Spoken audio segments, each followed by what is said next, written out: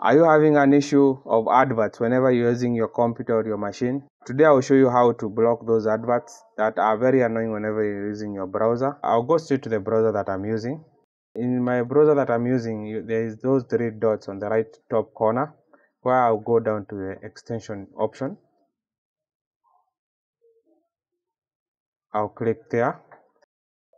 Where it will open my extension manager, I'll click under manage extensions as you can see I'll click there it will take me to the extension page where it usually manages the extension where I'll look for the software that I want to be using to block my adverts that usually pop in or that are very annoying whenever I'm using my browser.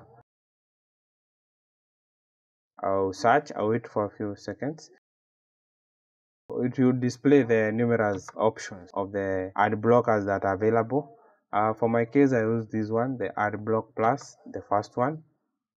I'll click on the get option. Then I'll wait as the system checks for me. Uh, it will ask me do you want to add the extension? Yes I'll say add the extension. It will go directly to the download option. I'll wait for a few seconds. The download is done and then I'll click on the download that has been done. And the ad blocker will be installed in my browser and my computer. It has other option. Maybe you want to get the advanced option. You can purchase the, the subscription so that to get together to enjoy the benefits.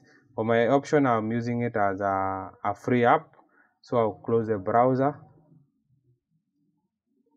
I'll close that tab then I'll go to my browser to confirm if the extension that I've added it's working for me.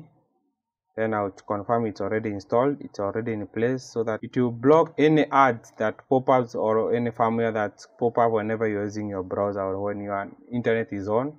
Then I'll go back to my browser. I'll open a, a download page that I want to download something. This is a confirmation that the adverts that usually pop up whenever you're using computer they are not showing up then I'll confirm by downloading a song. Then I haven't received any adverts that have popped up. I think the video was educative. Remember to subscribe like and share. I'll see you in our next video